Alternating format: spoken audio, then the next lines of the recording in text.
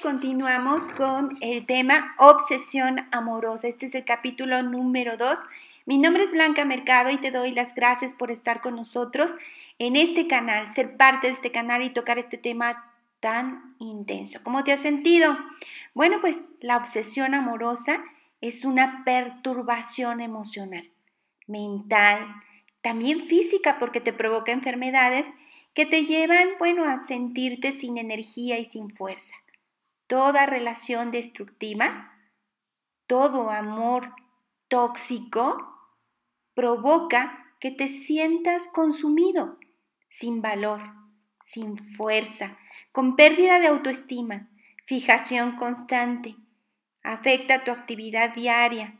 Te sientes violento contra ti y contra las personas que te rodean necesidad de manipulación y niegas que la relación ha terminado. No deseas contemplarlo. Pero ¿por qué nos obsesionamos con la pareja? Bueno, la obsesión es algo que ocurre sin que nos demos cuenta, pero que nos muestra el gran dolor interno que no hemos trabajado. Es irracional, no te lo propones y aumenta desproporcionalmente esa fijación por una persona sin que podamos poner un límite porque no estamos conscientes. Pero, ¿cómo nos comportamos cuando estamos obsesionados con nuestra pareja? Ansiosos, angustiados, sin respeto.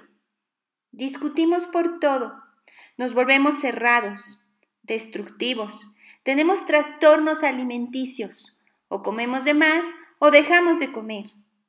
Alteraciones de personalidad quiere decir que tus emociones son una total montaña rusa.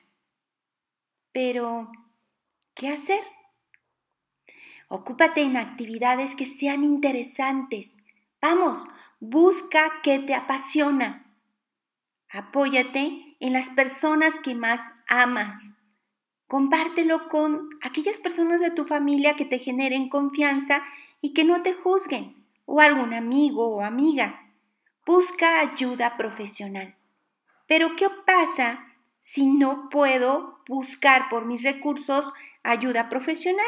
Bueno, no te inventes pretextos. Yo te diré qué hacer. ¿Qué te parece si buscas algo en que puedas concentrarte? De esa manera no estarás tan atento a tu obsesión.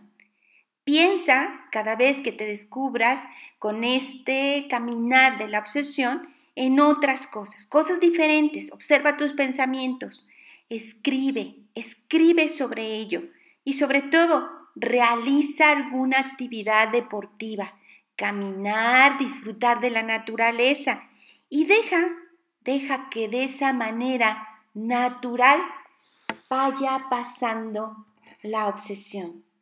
Fíjate qué interesante. Este problema se soluciona buscando actividades nuevas, emociones nuevas.